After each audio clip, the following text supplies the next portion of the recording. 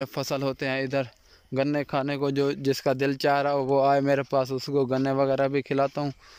बहुत ही प्यारा मौसम और अच्छा खुशगवार है। तो गाइस हमारा भी लोग अच्छा लगा हो तो